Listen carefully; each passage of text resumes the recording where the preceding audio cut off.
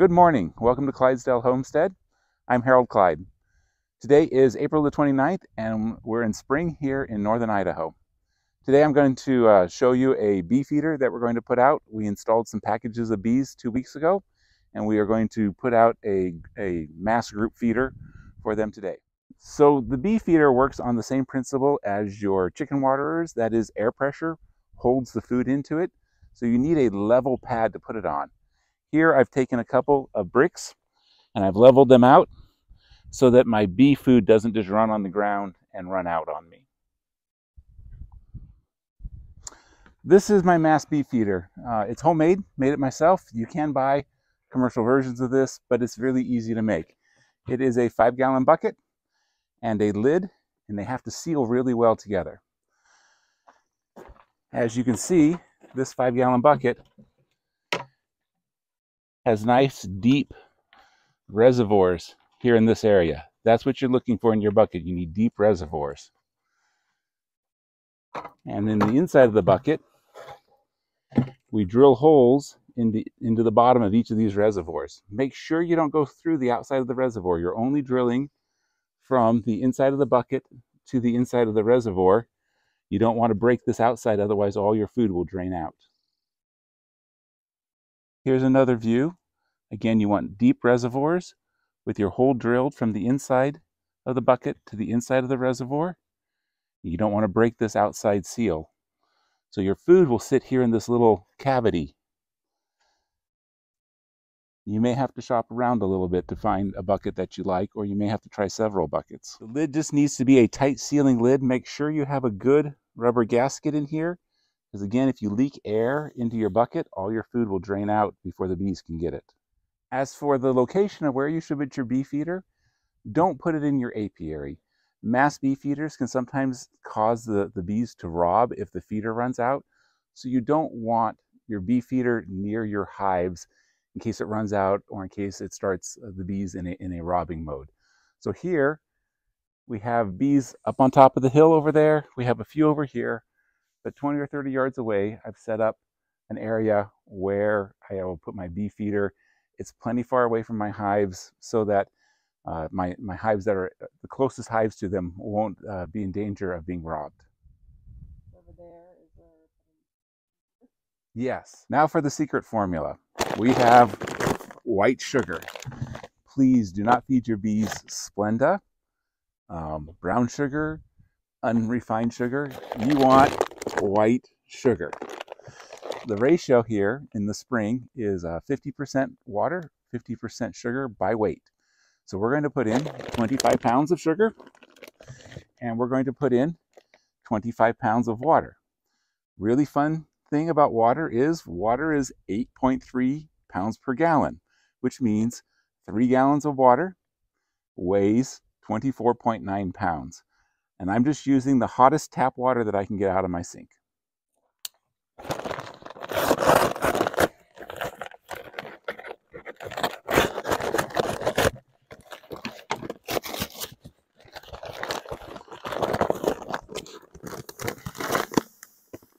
As you can see, 25 pounds of sugar really fills up this five gallon bucket.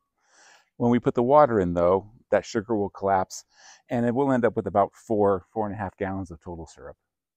Hot water, hottest water I can get out of the tap.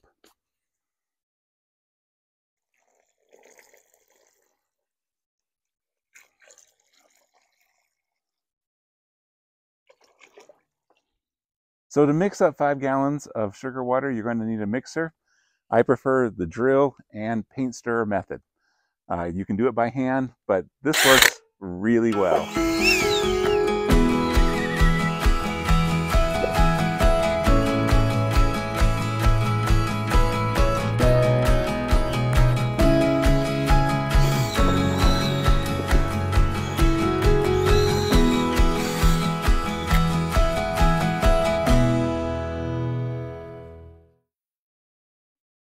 The last ingredient I'm going to put in, this is optional, is a little Pro Health.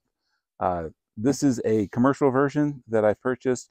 You can make this yourself. Its ingredients are just uh, sugar, water, spearmint oil, lemongrass, thymol, and lecithin. The spearmint oil, lemongrass, lemongrass oil and thymol all come in an oil base. And so they put the, a little lecithin in there to act as an emulsifier to, to get it to dissolve into the water. The ratios are here on the bottle.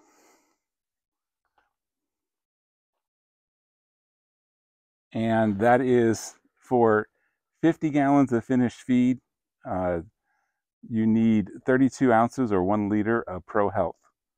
Um, I'm not making 50 gallons, but I worked that out that if you're making a gallon, it's one tablespoon plus one teaspoon to one gallon of 50-50 sugar water to water. In this case, I'm going to use a quarter of a cup in my five gallons of syrup.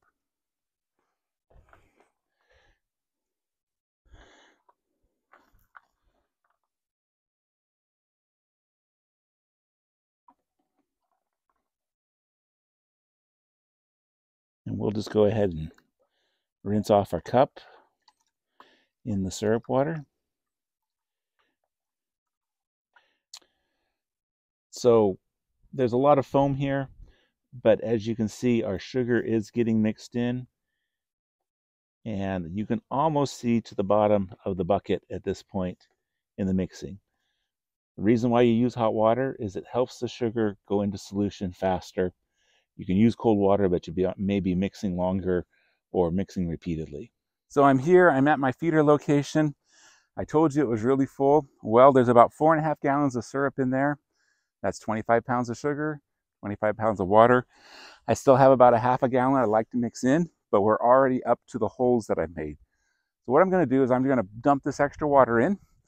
I'm gonna seal my lid on tight and I'm gonna turn the whole thing over on my feeder. A little bit of that water may wash out, that's okay. There was plenty there for the bees. And then we're gonna wait for the bees to come.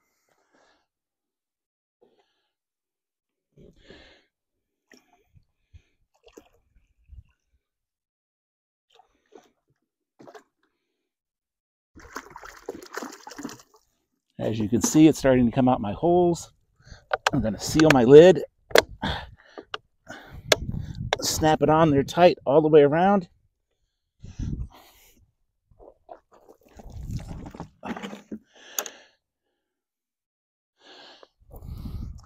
A little bit's going to leak out as the air pressure, as the negative pressure develops up here in the top. As soon as that negative pressure develops, that leaking will stop.